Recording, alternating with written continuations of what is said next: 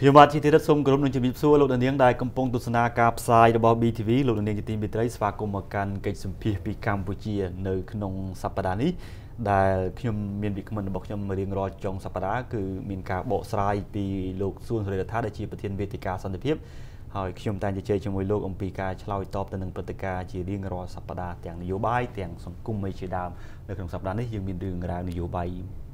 អាចថាជារឿងដដែលទេក៏ប៉ុន្តែវាកើតឡើងជាថ្មីម្ដងទៀតដែលធ្វើឲ្យមានប្រតិកម្មពីមហាជនទូទៅទាំងពីអ្នកនយោបាយមន្ត្រីរាជការនិងប្រជាជនប្រតិកម្មនឹងទន់ដិតដែលនៅក្រៅប្រទេសដែលជាជនក្បត់ជាតិ3ចំនួនដែលបានបន្តប្រមាថមកលើប្រជាស្ដាររបស់ព្រះរាជារបស់យើងកុំឲ្យខាត់ពេលជួបជាមួយនឹងវិក្កាមរបស់ខ្ញុំតែម្ដងទោះព្រះថាជំរាបសួរបាទបាទជំរាបសួរលោកតរិតបាទសុខទុក្ខយ៉ាងណាដែរលោកបាទបាទសុខទុក្ខធម្មតាយើងជួបគ្នាជាថ្មីម្ដងទៀតយើងឃើញថា នៅក្នុងសប្តាហ៍នេះសប្តាហ៍មុនយើងបានជជែកគ្នាច្រើនអំពីរឿងរ៉ាវតាក់ទងទៅនឹងការជាតិជ្រែកទៅនឹងកិច្ចការផ្ទៃក្នុងកម្ពុជាតាមរយៈការដែលក្រសួងពលរដ្ឋបិទនៅវិទ្យុ VOD ដែលបានរំលោភទៅលើវិជាវៈធនធ្ងរប៉ះពាល់ដល់រដ្ឋាភិបាលផងនៅក្នុងនោះហើយយើងមានប្រតិកម្មជាបន្តបន្ទាប់ឥឡូវនេះថ្ងៃនេះយើងមានរឿងរ៉ាវមួយទៀតតាក់ទងទៅនឹងការប្រមាថមកលើប្រជាស្ដាររបស់ប្រជាជាពីសំណាក់តនដិតសំរងស៊ី ដែលតែពិតមិនមែនជារឿងថ្មីទេគឺបុគ្គលរូបនេះនឹងក្រុមបពុរបស់ខ្លួនបានបន្តប្រមាថមកលើប្រជាប៉ុន្តែលើកនេះជាថ្មីម្ដងទៀតគឺមានការប្រតិកម្មជាច្រើនសម្រាប់លោកលោកមើលឃើញយ៉ាងណាដែរលោកស្រីថាបាទបាទជាដំបូងខ្ញុំសូមគោរពជំរាបសួរដល់បងប្អូនប្រជាប្រដ្ឋខ្មែរដែលកំពុងតែទស្សនា BTV នៅថ្ងៃនេះនឹងឯលោកតរិតយើងឃើញថាបុគ្គលជាតណ្ឌិតរត់ចោលស្រុករូបនេះគឺថាគាត់បានបង្ហាញនៅចរិតបំពេញច្បាប់ជាពិសេសគឺថា រំលោភច្បាប់រដ្ឋធម្មនុញ្ញកម្ពុជារបស់យើងគឺថាម្ដងហើយម្ដងទៀតតាក់ទងទៅនឹងករណីប្រមាថមើលងាយដល់ប្រជាស្ដាររបស់ព្រះមហាក្សត្រពីព្រោះយើងដឹងថាព្រះមហាក្សត្រគឺត្រូវបានការពារដោយច្បាប់រដ្ឋធម្មនុញ្ញជាច្បាប់កម្ពុជារបស់យើងបាទហើយអញ្ចឹងទៅគឺថាយើងឃើញថាមហាជនប្រជាពលរដ្ឋនិងស្ថាប័នរដ្ឋផ្សេងផ្សេងទៀតព្រមទាំងអង្គការសង្គមស៊ីវិលទាំងអស់គឺបានប្រតិកម្មខឹងសម្បាយ៉ាងខ្លាំងចំពោះចរិត នយោបាយដែលក៏ក្លឿនដដែលដដែលរបស់បុគ្គលជាតន្តិតរត់ចោលស្រុករូបនេះតែងតែប្រមាថនឹងបំពេញមកព្រះមហាក្សត្រដែលជាទីគោរពសក្ការៈរបស់មហាជនរបស់ប្រជាប្រដ្ឋខ្មែរយើងយើងខ្ញុំមើលឃើញថាបុគ្គលនេះគឺគាត់ដូចជាអស់ពឹសនយោបាយលែងមានប្រសិទ្ធភាពអ្វីទាំងអស់នៅក្នុងសង្វៀននយោបាយកម្ពុជា ពីព្រោះយើងគិតឲ្យវាមើលឲ្យជ្រៅទៅលោកធិរិតអ្នកនយោបាយដែលមានអធិបុល គឺអ្នកនយោបាយដែលគេយកបញ្ហាអ្វីមួយប្រធានបទអ្វីមួយ ដែលស្របច្បាប់លើកយកមកនិយាយទៅ គឺទទួលបានការចាប់អារម្មណ៍គ្រប់គ្រងពីប្រជាប្រដ្ឋជាអ្នកគ្រប់គ្រងប៉ុន្តែចំពោះជននេះគឺថាគាត់និយាយអ្វីគឺថាគេលែងចាប់អារម្មណ៍អស់ហើយដោយការណាគាត់និយាយអ្វីគេលែងចាប់អារម្មណ៍អស់ហើយសំបីតែប្រជាប្រដ្ឋអតីតអ្នកដែលគ្រប់គ្រងគាត់ពីមុនក៏គេលែងចាប់អារម្មណ៍នឹងបុគ្គលនេះដែរអញ្ចឹងហើយគឺថាចាប់ផ្ដើម យកចំណុចមួយគឺថាយកចំណុចរំលោភបំពានច្បាប់នេះឯងយកមកធ្វើជាពងនយោបាយឬក៏ជាចំណុចយុទ្ធសាស្ត្ររបស់ខ្លួន ដើម្បីឲ្យមានការខឹងក្រេវក្រោតដល់មហាជន ជាពិសេស គឺព្រះមហាក្សត្ររបស់កម្ពុជា គឺជាទីគោរពស្រឡាញ់របស់ប្រជារាស្ត្រហើយក៏ជាទីគោរពសក្ការៈរបស់ប្រជារាស្ត្រហើយក៏ត្រូវបានការពារដោយច្បាប់រដ្ឋធម្មនុញ្ញមិនអាចនរណាម្នាក់រំលោភបំពានបានទេអញ្ចឹងបុគ្គលនឹងយកបញ្ហា ប្រធានបទគឺទូអង្គព្រះមហាក្សត្រតែម្ដងយកមកធ្វើការជន់ឈ្លីប្រមាថធ្វើឲ្យមានការឈឺចិត្តឈឺចាប់ដល់ប្រជាប្រដ្ឋខ្មែរអ្នកដែលគោរពស្រឡាញ់ព្រះមហាក្សត្រពីព្រោះព្រះមហាក្សត្រយើងដឹងហើយគឺថាលោកសោយរាជតែលោកមិនកាន់អំណាចទេអញ្ចឹងគឺនេះបង្ហាញអំពីចរិតពៀលចរិតដែលក៏ក្លឿនមានះបំពេញច្បាប់រំលោភច្បាប់កម្ពុជាម្ដងហើយម្ដងទៀត ដែលដែលក៏ជាការបង្ហាញនៅចំណុចខ្សោយនិងចំណុចអស់ពឹសនយោបាយរបស់បុគ្គលនេះផងដែរអ្នកមួយចំនួនគេនិយាយថាបុគ្គលនឹងនៅតែមានអធិបុលនយោបាយកាលណានិយាយទៅវានៅមានប្រតិកម្មពីមហាជន ប្រតិកម្មពីស្ថាប័នរដ្ឋក្រសួងប៉ុន្តែខ្ញុំមើលឃើញថានេះមិនមែនជាប្រតិកម្មដោយសារបុគ្គលនឹងមានអធិបុលនយោបាយទេប៉ុន្តែប្រតិកម្មនេះគឺកើតឡើងអំពីការគោរពស្រឡាញ់ដ៏ស្មោះស្ម័គ្ររបស់ប្រជាពលរដ្ឋខ្មែរ ជាពិសេសគឺស្ថាប័នរាជរដ្ឋាភិបាលដែលមានតួនាទីការពាររដ្ឋធម្មនុញ្ញនិងការពារព្រះមហាក្សត្រខ្ញុំបានឃើញសេចក្តីថ្លែងការណ៍របស់វេទិកាសន្តិភាពកម្ពុជារបស់លោកដែរលោកប្រើពាក្យថាជាតនដិតអន្តពាលោកប្រើពាក្យនៅក្នុងនឹងលោកយកបង្ហាញថាវាវាហួសវិស័យរោពាក្យដាក់សម្រាប់បុគ្គលរូបនេះពិបាកនឹងបដូចនឹងធាតអាក្រក់របស់ខ្លួនដូចយ៉ាងណាយើងយើងយើងប្រមាលមើលលោកធីរិតពីព្រោះ យើងឃើញអ្នកនយោបាយនៅក្នុងសង្គមនយោបាយមិនថានៅក្នុងអាស៊ីមិនថានៅក្នុងប្រទេសខ្មែររបស់យើងមិនថានៅអឺរ៉ុបទេគេប្រកួតប្រជែងគ្នាគឺគេយកចំណុចអវិជ្ជមានមួយណាដែលយកមកនិយាយប្រកួតប្រជែងដើម្បីឲ្យប្រទេសជាតិនឹងគឺថារីកចម្រើន មានន័យថាគេរក្សាអ្វីដែលមានស្រាប់និងគិតកែលម្អអ្វីដែលវាមិនទាន់ល្អនឹងឲ្យវាល្អឬអ្វីដែលមិនទាន់មាននឹងឲ្យវាមានដូចជាការប្រកួតប្រជែងផ្នែកវិទ្យាសាស្ត្រការអប់រំការស្រាវជ្រាវ ការរុករកឬក៏ប្រកួតប្រជែងរឿងសេដ្ឋកិច្ចធ្វើឲ្យមនុស្សមានមុខរបរមានការងារធ្វើប៉ុន្តែចំពោះបុគ្គលរូបនេះយើងឃើញថាពេលដែលពលរដ្ឋខ្មែរកម្មករកម្មការនីខ្មែរកំពុងតែមានការងារធ្វើមានមុខរបរមានប្រាក់ចំណូលគាត់ទៅចាក់ញុះញង់អឺរ៉ុបឲ្យគេផ្ដាច់ EBA លុបបំបត្តិទីផ្សាររបស់កម្ពុជាអីចឹងទៅគាត់ទៅអំពាវនាវឲ្យបរទេសកុំទិញទំនិញពីកម្ពុជាដើម្បីឲ្យប្រជាប្រដ្ឋនិង កម្មករកម្មការនីរបស់កម្ពុជាបាត់បង់ការងារបាត់បង់ប្រាក់ចំណូលដូចចឹងទៅហើយដល់ពេលយើងឃើញថារឿងរ៉ាវជាច្រើនផ្សេងទៀតដែលគាត់តែងតែធ្វើជាសត្រូវនៃការអភិវឌ្ឍនិងការរីកចម្រើនឧទាហរណ៍ដូចជាសន្តិភាពដែលសម្ដេចតេជោលោកបានខិតខំប្រឹងប្រែងយកមកជូនប្រទេសជាតិនិងមាតុភូមិកម្ពុជាដែលប្រជាពលរដ្ឋខ្មែរទទួលបានផលពីសន្តិភាពគ្រប់គ្នាដើម្បី រក្សាបាននៅគេហៅថាវឌ្ឍនភាពរបស់ជាតិនិងការរីកចម្រើនហើយសន្តិភាពនេះទៀតសោតមិនមែនសំដៅថាតលតែអ្នកដែលនិយាយថាអគុណសន្តិភាពនឹងបានទទួលផលពីសន្តិភាពនេះសំបីតែគ្នាគ្នាគាត់និងក្រុមនយោបាយពួកគាត់ទាំងអស់ហ្នឹងក៏សុទ្ធតែទទួលបានផលពីសន្តិភាពដូចគ្នាក្នុងការធ្វើកិច្ចការនយោបាយកន្លងមកប៉ុន្តែគាត់បែរទៅជាតាំងខ្លួនធ្វើជាសត្រូវនៃសន្តិភាពដល់ពេលធ្វើជាសត្រូវនៃសន្តិភាពទៅវាធ្វើឲ្យប្រជាពលរដ្ឋខ្មែរ អ្នកដែលទទួលផលពីសន្តិភាពគេមិនទាំងគ្រប់គ្រងបាទគេអត់គ្រប់គ្រងទេអញ្ចឹងបើកាលណាធ្វើជាសត្រូវនៃសន្តិភាពមានន័យថាសត្រូវជាមួយនឹងប្រជាពលរដ្ឋខ្មែរមកប្រទេសហើយក៏សត្រូវជាមួយនឹងអ្នកគ្រប់គ្រងរបស់គាត់ដែលជាអ្នកទទួលផលពីសន្តិភាពអញ្ចឹងវាអត់មានការចាប់អារម្មណ៍អញ្ចឹងដល់ហើយគាត់ទៅយកស្ថាប័នព្រះមហាក្សត្រដែលជាស្ថាប័នកម្ពុជារបស់ជាតិត្រូវការពីរដ្ឋធម្មនុញ្ញនោះយកមកប្រមាថជន់ឈ្លីនិងធ្វើការផ្សព្វផ្សាយតាមអំពើចិត្តអញ្ចឹងវាវាហួសនឹងអ្វី ដែលដែលនិយាយស្ដីអញ្ចឹងវាវាហៅយ៉ាងម៉េចថាហៅថា ជាអ្នកនយោបាយចាស់ភាសាទៅជាបាតផ្សារអ្នកនយោបាយដែលអស់លក្ខឬក៏អស់លៀបយើងឃើញនៅរត់ចោលស្រុកគឺថាគ្មានថ្ងៃនឹងហ៊ានវិលត្រឡប់វិញអញ្ចឹងវាទៅជាជនអន្តពាលហើយដែលប្រមាថដែលតួអង្គមហាក្សត្ររបស់កម្ពុជាដូចខ្ញុំបានលើកចឹងគឺមហាក្សត្រជាទីគោរពរបស់ប្រជារាស្ត្រផង ជាទីស្រឡាញ់របស់ប្រជារាស្ត្រផងនិងជាទីសក្ការៈរបស់ប្រជារាស្ត្រផងអញ្ចឹងបើយើងទៅប្រមាថដល់បុគ្គលជាទីសក្ការៈរបស់ប្រជារាស្ត្រអាហ្នឹងគឺអន្តពាលចំតែម្ដងបានយើងប្រើពាក្យថាជាជនអន្តពាលនឹងតែម្ដងខ្ញុំឃើញសេចក្តីថ្លែងការណ៍របស់វេទិកាសន្តិភាពរបស់លោកប្រើពាក្យហ្នឹងគឺគួរឲ្យចាប់អារម្មណ៍ណាស់ព្រោះពាក្យមួយមួយមុតណាស់ក្នុងការប្រើពាក្យខ្ញុំខ្ញុំខ្ញុំសូមសរសើរចំពោះពាក្យពេចន៍ដែលប្រើនៅក្នុងសេចក្តីថ្លែងការណ៍ថ្កោលទោសចំពោះ អ្វីដែលបុគ្គលរូបនេះបានប្រមាថមកលើបរិជារបស់យើងមុននេះបន្តិចលោកក៏បានលើកឡើងដែរមានការលើកឡើងថាបុគ្គលរូបនេះនៅតែមានការចាប់អារម្មណ៍អឺប្រមាថព្រះមហាក្សត្រលើកនេះប្រជាជនរបស់យើងក៏នៅតែបន្តវិបហាដែរយើងលើកខាងដើមថាបុគ្គលនេះលែងសូវមានការចាប់អារម្មណ៍ប៉ុន្តែ មានប្រតិកម្មជាច្រើនហើយក៏គេបានលេសថាអតិពលរបស់ខ្លួននៅតែជា អតិពលមួយដែលធ្វើឲ្យគណៈបកប្រជាជនកម្ពុជាឬរដ្ឋាភិបាលខ្លាចអីដែរជាដើមនោះហើយគេបានអំនួតថាអ្វីដែលខ្លួននិយាយគឺត្រូវបានគេយកទៅនិយាយច្រើននៅជាដើមលោកយល់យ៉ាងណាដែរលោកស្រីថាខ្ញុំសូមជម្រាបអញ្ចេះអ្នកនយោបាយដែលមានអធិបុលគឺជាអ្នកនយោបាយដែលនិយាយអ្វីដែលវាស្របច្បាប់ប្រឆាំងស្របច្បាប់យកចំណុចស្របច្បាប់មកធ្វើជា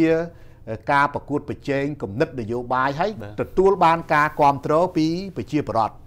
អាហ្នឹងយើងទទួលស្គាល់ថាអ្នកនយោបាយនឹងខ្លាំងឧទាហរណ៍ថាកិច្ចការសង្គមណាមួយ ដែលជាផលប្រយោជន៍របស់ប្រទេសជាតិដែលជាផលប្រយោជន៍របស់ប្រជាពលរដ្ឋប៉ុន្តែត្រូវបានមិនសូវយកចិត្តទុកដាក់ស្រាប់តែមានអ្នកនយោបាយណាមួយគាត់យកអានឹងយកមកលើកឡើងហើយធ្វើការរិះគន់និងបង្ហាញនៅគំនិតរបស់គាត់នៅក្នុងការកែលម្អក្នុងការដឹកនាំឲ្យវាមានល្អឡើងវិញអាហ្នឹង ដែលទទួលស្គាល់ពីប្រជាប្រដ្ឋអាហ្នឹងគឺជាអ្នកនយោបាយដែលខ្លាំងមានន័យថាធ្វើនយោបាយនៅក្នុងរង្វង់ច្បាប់ដែលយកអ្វីដែលជាផលប្រយោជន៍ច្បាប់ដែលប្រជាប្រដ្ឋត្រូវទទួលបានហ្នឹងយកមកនិយាយរិះគន់ទៅហើយទទួលបានការគ្រប់គ្រងពីប្រជាប្រដ្ឋប៉ុន្តែដល់ពេលអ្នកនយោបាយដែលយកអ្វីដែលជាអំពើខុសច្បាប់មកនិយាយហើយដល់ពេលប្រតិកម្ម ពីប្រជាប្រដ្ឋហើយនៅលើកនិយាយថាអ្នកនយោបាយនឹងមានអធិបុលបានគេប្រតិកម្មវាអត់ត្រូវខ្ញុំសូមលើកឧទាហរណ៍ជូនដល់មហាជននិងអ្នកទាំងអស់គ្នាពិចារណាថាចោលណាចោលទៅលួចទ្រព្យសម្បត្តិគេហើយដល់ពេលទៅលួចប្លន់ទ្រព្យសម្បត្តិគេដល់ពេលគេចាប់បានគេចាប់បានស្រាប់តែគេជ្រុលដៃជ្រុលជើងវាយបែកក្បាលហូរឈាមអញ្ចឹងទៅស្រាប់តែចោលនឹងលើកដៃសាពះអង្វរអញ្ចឹងស្រាប់តែសួរថាតើ ការដែលលើកដៃសាពះអង្វរឃើញគេវាយបែកក្បាលហូរឈាមទទួលបានការអាណិតពីមនុស្សប្រមាណអ្នកហើយទទួលបានការខឹងសម្បា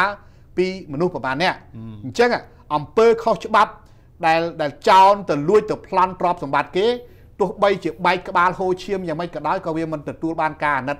ពីមហាជនដែរវានៅតែទទួលបានការស្អប់ខ្ពើមពីមហាជនអញ្ចឹងដូចអ្នកនយោបាយអញ្ចឹងអ្នកនយោបាយដែលយករឿងខុសច្បាប់យកមកធ្វើជា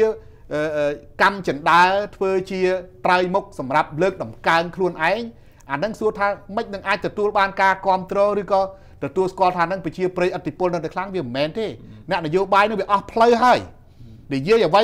គឺលែងទទួលបានការចាប់អារម្មណ៍លែងទទួលបានការគ្រប់គ្រងសំបីតែអតីតអ្នកគ្រប់គ្រងរបស់ខ្លួនអញ្ចឹងក៏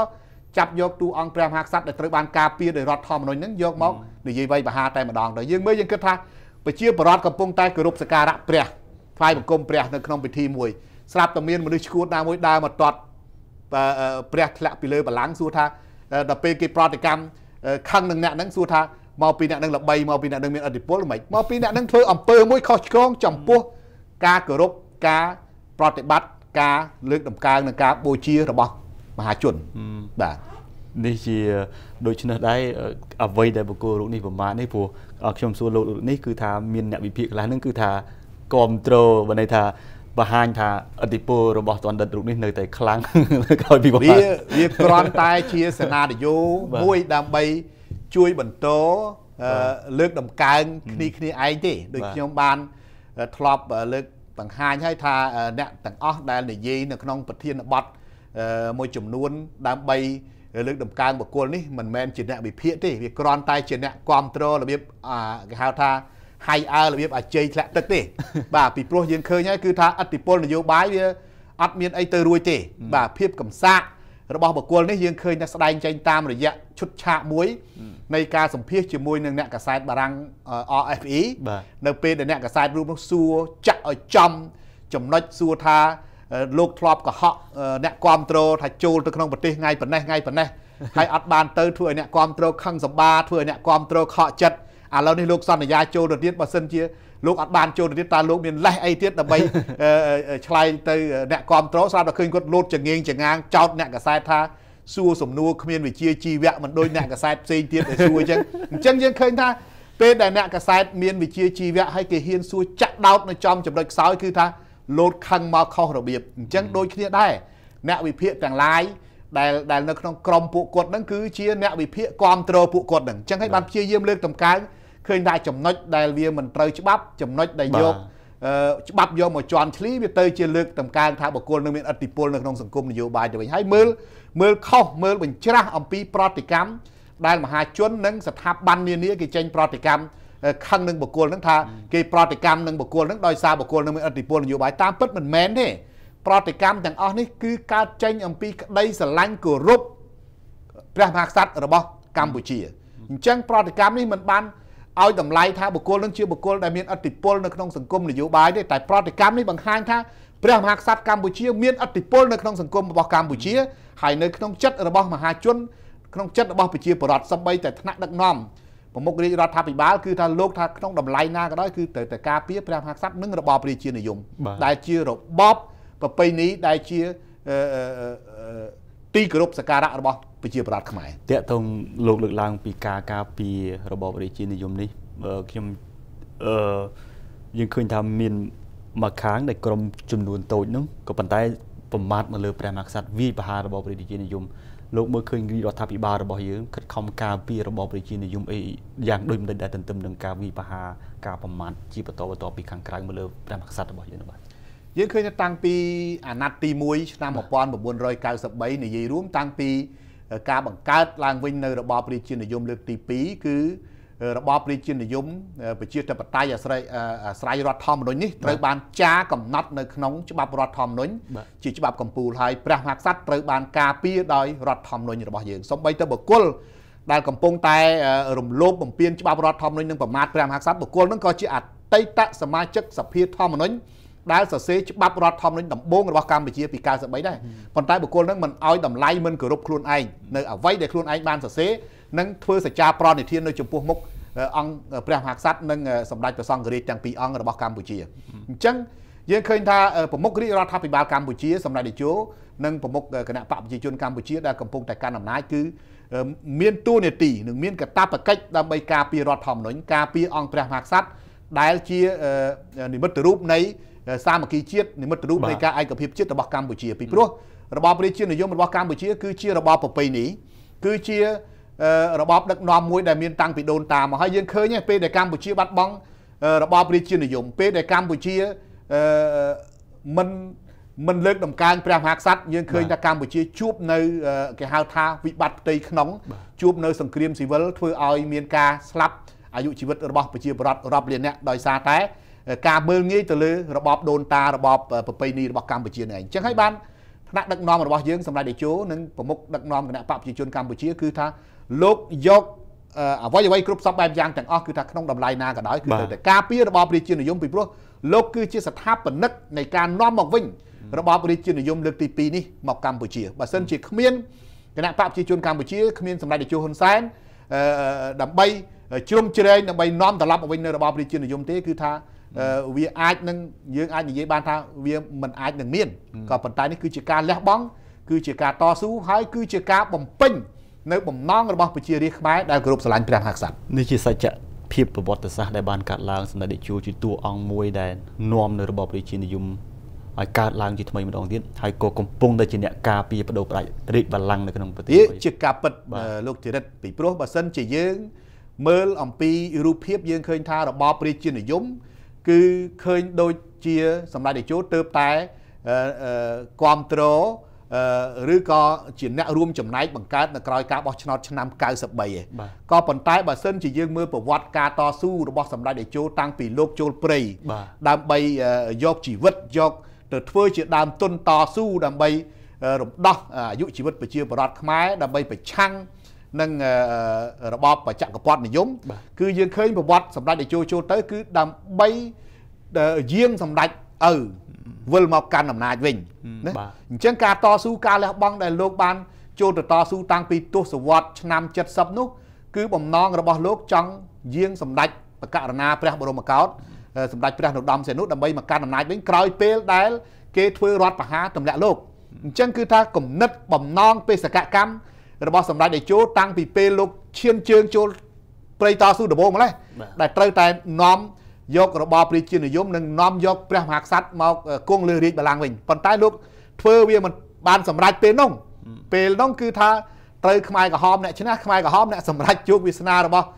ប្រទេសជាតិនឹងការដឹកនាំនោះប៉ុន្តែលោកនៅតែបន្តបេសកកម្មនេះរហូតដល់ទសវត្សរ៍ឆ្នាំ90ទើបលោកអាចសម្រេចបំណង នាំយករបបប្រជានិយមសាសជាថ្មីមកជូនប្រជារាស្ត្រខ្មែរនេះគឺជាបេសកកម្មប្រវត្តិសាស្ត្រជាសច្ចភាពដែលគ្មាននរណាម្នាក់អាចប្រកែកបានទេបាទលោករដ្ឋាតកតងទៅនឹងតនដិតរូបនេះយើងឃើញថាការប្រមាថមកលើព្រះមហាក្សត្រហ្នឹងគឺញឹកញាប់ណាស់ហើយបើយើងកលេចទៅពីអតីតកាលព្រះមហាក្សត្របើយើងមិនបាច់ទៅឆ្ងាយត្រឹមឆ្នាំ2012កន្លងទៅបុគ្គលរូបនេះធ្លាប់មានកំហុសក៏ប៉ុន្តែធ្លាប់ខុសច្បាប់មិនអាចចូលកាន់ប្រទេសកម្ពុជាវិញសម្ដេចតេជោបានស្នើព្រះមហាក្សត្រឲ្យលើកលែងទោសឲ្យ ក្រោយមកទៀតចូលបានធ្វើនយោបាយមួយរយៈហើយក៏បង្កើតនៅកំហុសបត់ល្មើសកើតឡើងរត់ចោលប្រទេសហើយស្នើឲ្យព្រះមហាក្សត្រចង់ឲ្យព្រះមហាក្សត្រជាតិជ្រែកក្នុងធ្វើកិច្ចការក្នុងការសម្រួលឲ្យខ្លួនបានធ្វើចូលកាន់ប្រទេសកម្ពុជារបស់យើងវិញហើយនៅពេលការស្នើសុំនោះមិនមានការឆ្លើយតបណាមួយ បែរជាប្រមាថវាយប្រហារមកលើព្រះមហាក្សត្រជាបន្តបន្ទាប់តើតើនេះជាហេតុផលដែលបុគ្គលរូបនេះតែងតែយកប្រធានបទវាយមកលើប្រមាថមកលើប្រជារបស់យើងជាបន្តបន្ទាប់ដោយសារតែការខឹងសម្បាបែបហ្នឹងឬក៏យ៉ាងណាវិញសម្រាប់លោកមើលពោះជាយើងឃើញថាជាចរិតបុគ្គលដែលរមិលគុណនិងអកតញ្ញូហើយបានយកកំហឹងផ្ទាល់ខ្លួនយកមកជះវាយបហាទៅលើអ្នកដែលធ្លាប់មានគុណលើខ្លួនបាទ យើងឃើញថាកម្ពុជាប្រជាពលរដ្ឋកម្ពុជាមានវប្បធម៌ប្រពៃណីមួយគឺថាដឹងគុណហើយកតញ្ញូចំពោះអ្នកណាម្នាក់ដែលធ្លាប់បានផ្ដល់នៅការសន្តោសផ្ដល់នៅការប្រោះប្រណីចំពោះខ្លួនមិនថាជាឪពុកម្ដាយមិនថាជាគ្រូបាទជាយមិនថាជាគ្រូបង្រៀនមិនថាជាឧបជាមិនថាជាមិត្តភ័ក្តិអ្នកចិត្តខាងញាតិមិត្តអីទេឲ្យតែធ្លាប់មានគុណគឺត្រូវតែមានចិត្តកតញ្ញូនិងដឹងគុណប៉ុន្តែបុគ្គលនេះគឺថាអត់មានភាព ជាខ្មែរទេអត់មានភាពជាមនុស្សដែលមានកតញ្ញូនៅក្នុងខ្លួននិងគោរពដឹងគុណនៅអ្វីដែលខ្លួនឯងធ្លាប់ទទួលគុណពីគេទេយើងឃើញថាព្រះមហាក្សត្រលោកធ្លាប់បានលើកលែងទោសឲ្យបុគ្គលនេះតាមរយៈសំណើស្នើសុំលើកលែងទោសរបស់សម្ដេចតេជោហ៊ុនសែនពីព្រោះតាមច្បាប់នៃប្រជាណាចក្រកម្ពុជាគឺការលើកលែងទោសឲ្យតណ្ឌិតណាម្នាក់គឺជាបុព្វសិទ្ធជាសិទ្ធិរបស់ព្រះមហាក្សត្រក្នុងការចុះ ព្រះហត្ថលេខាដើម្បីលើកលែងទោសប៉ុន្តែវាតតែមានសំណើស្នើសុំពីនាយករដ្ឋមន្ត្រីបាទអញ្ចឹងគឺសម្ដេចតេជោលោកបានផ្ដល់ឱកាសពីរលើកហើយគឺបានស្នើសុំឲ្យព្រះមហាក្សត្រលើកលែងទោសដើម្បីមានឱកាសចូលមកធ្វើនយោបាយប្រកួតប្រជែងដើម្បីកសាងប្រទេសហើយគណៈបកប្រជាជនកម្ពុជា ជាពិសេសក្រោមការដឹកនាំរបស់សម្ដេចតេជោក៏បានកសាងនៅវប្បធម៌សន្តានាដើម្បីគិតថាធ្វើនយោបាយក្រោមមលុបសន្តិភាពធ្វើនយោបាយក្រោមមលុបស្វេតឆ័ត្ររបស់របបប្រជានិយមនៃព្រះមហាក្សត្រដើម្បីនាំភាពសុខសាន្តជូនប្រជារាស្ត្រនិងការអភិវឌ្ឍប៉ុន្តែបុគ្គលនេះវាអត់មានធៀបជាអ្នកនយោបាយដែលស្រឡាញ់ជាតិដូចមាត់និយាយបាទមាត់និយាយថាស្រឡាញ់ជាតិប៉ុន្តែគំនិតនិងទង្វើជាក់ស្ដែងគឺបំផ្លាញជាតិហើយក្បត់សម្ដីខ្លួនឯងជាពិសេស គឺក្បត់ចំពោះអ្នកដែលធ្លាប់មានគុណលើខ្លួនគឺរមិលគុណនិងអកតញ្ញូហើយយើងឃើញសម្ដេចតេជោគឺលោក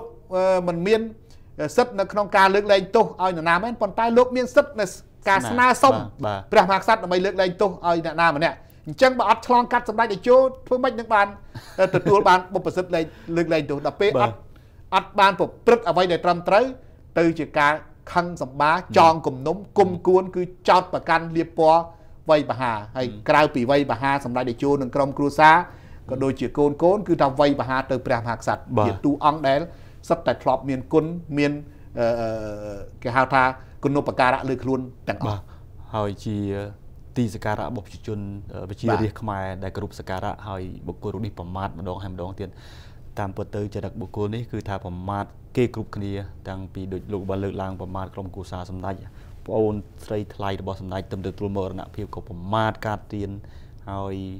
ទូអង្គព្រះមហាក្សត្រនេះឥឡូវកន្លងមកបពុរបស់ខ្លួនក៏ប្រមាថព្រះរាជារបស់យើងដែរលោករដ្ឋាចុងក្រោយលោកមើលឃើញថាបុគ្គលរូបនេះឬក្រុមរបស់ពួកគេខ្ញុំឧទាហរណ៍ក៏ពិតមិនដឹងប្រមាណ100ឆ្នាំទៅទៀតទេប៉ុន្តែគាត់ថាបើសិនជាពួកគេមានឱកាសមិនដឹងថាវាមិនអាចទៅរួចប៉ុន្តែបើសិនជាមានឱកាសអឺបានជាប់ឆ្នោតអី ប្រហែលជារបបរាជានិយមរបស់យើងនឹងព្រះមហាក្សត្រនឹងប្រហែលជាពួកគេទៅរំលាយចោលបង្កើតរបបសាធារណរដ្ឋដូចដែលលោកលើកឡើងថាពីពីអតីតកាលយើងបំបត្តិរបបរាជានិយមចោលហើយធ្វើឲ្យប្រទេសយើងមានសង្គ្រាមជាដើមនោះបាទវាជាការពិតយើងមើលឃើញច្បាស់កន្លែងនេះលោកចរិតបុគ្គលនេះគ្មានឱកាសគ្មានសំណាងអីអាចមកទទួលបានការគ្រប់គ្រងពីប្រជារាស្ត្រខ្មែរដើម្បីបោះឆ្នោតបានជាប់ដឹកនាំប្រទេសដឹកនាំអីទេ ក៏ប៉ុន្តែបើសិនយើងនិយាយជាទូទៅវិញបើសិនជាកម្ពុជាមានអ្នកនយោបាយធនបុគ្គលបែបហ្នឹងហើយទទួលយកគំនិតនយោបាយរបស់បុគ្គលនេះមកធ្វើនយោបាយដឹកនាំប្រទេសវិញមានន័យថាកម្ពុជានឹងវិលទៅរកមហន្តរាយសារជាតិថ្មី ហើយអ្វីដែលជាការខិតខំប្រឹងប្រែងរបស់សម្ដេចតេជោនៅក្នុងការកសាងសន្តិភាពនិងរៀបចំប្រទេសអភិវឌ្ឍមកនឹងត្រូវបានបុគ្គលដែលមានគំនិតជ្រុលនិយមអ្នកនយោបាយដែលជ្រុលនិយមនេះ បំផ្លាញទាំងអស់របៀបដូចខ្មែរក្រហមពេលដែលឈ្នះភ្លាមគឺថាស្អីក៏ខុសស្អីក៏មិនត្រូវគឺថាបំផ្លាញខ្ទេចបំផ្លាញខ្ទីតែម្ដងអញ្ចឹងសួរថាតើសង្គមកម្ពុជារបស់យើង និងប្រជារាស្ត្រយើងយើងចង់បានអ្នកនយោបាយបែបនឹងទៀតទេយើងអត់បានទេយើងចង់ឲ្យសន្តិភាពនឹងនៅជាយូរអង្វែងដើម្បីជាផលប្រយោជន៍សម្រាប់ប្រទេសជាតិដើម្បីជាការអភិវឌ្ឍទៅមុខឲ្យបុគ្គលនេះបើមែនតែនទៅវាគ្មានឱកាសនឹងបាន មកឈ្នះនៅក្នុងការបោះឆ្នោតឬធ្វើនយោបាយនេះខ្ញុំខ្ញុំនិយាយដល់ចំណុចមួយថាសំបីតែឱកាសដែលវិលមកស្លាប់នៅក្នុងប្រទេសកម្ពុជាវិញមិនដឹងមានឬអត់ផងកុំថាឡើយដល់វិលមកចូលសង្វៀននយោបាយវិញពីព្រោះឥឡូវវាទៅជាអស់លក្ខអស់លៀបហើយទៅជារំលោភបំពានច្បាប់ធំដុំមែនទែនបាទដែលมันអាចមាននរណាម្នាក់អធិស្ស្រ័យបាន បាទដូច្នេះខ្ញុំមើលមិនឃើញថាបុគ្គលនេះនឹងអាចមកមានឱកាសធ្វើអីទៀតទេប៉ុន្តែសូមរំលឹកដល់អ្នកនយោបាយ ដែលកំពុងតែមានឱកាសធ្វើនយោបាយនៅក្នុងប្រទេសកម្ពុជា គឺថាកុំយកគំនិតនយោបាយជ្រុលនិយមឬក៏យកមនោគមវិជ្ជារបស់បុគ្គលនេះយកមកចូលក្នុងក្រុមនយោបាយខ្លួនឯសោះពីព្រោះទី1គ្រោះថ្នាក់ទី2มันអាចទទួលបានការគ្រប់គ្រងពីប្រជាពលរដ្ឋហើយទី3នឹងអាចបាត់បង់ឱកាសនិងសង្វៀននយោបាយដែលខ្លួនឯងកំពុងតែឈរជើង នេះគួរឲ្យចាប់អារម្មណ៍ហើយលោកសេរដ្ឋាហើយដូច្នេះហើយបានសម្ដេចតេជោតែងប្រកាសជាញញយថាទុកក្នុងតម្លៃណាក៏ដោយមិនឲ្យក្រមមួយក្តាប់តូចនេះបំផ្លាញសន្តិភាពឬយកគំនិតនយោបាយជ្រុលនិយមមកអនុវត្តនៅក្នុងទឹកដីរបស់យើងទេតំណាងឲ្យ BTV ខ្ញុំសូមអរគុណជានាយកកម្មការដែលលោកបានចូលរួមក្នុងកម្មវិធីរបស់ខ្ញុំនៅថ្ងៃនេះលោកនាងជាទីមេត្រីដោយសារតែកម្មវិធីរបស់យើងដល់ពេលវេលានឹងបញ្ចប់ហើយនៅពេលនេះខ្ញុំបាទជាធិរិទ្ធនិងលោកសួនសេរីរដ្ឋាដែលជាប្រធានវេទិកាសន្តិភាពកម្ពុជា សូមអរគុណលោកនាងដែលបានតាមដានកម្មវិធីរបស់ខ្ញុំតាំងពីដើមដល់ចប់យើងខ្ញុំទាំងពីរនាក់សូមជម្រាបលាត្រឹមនេះបាទ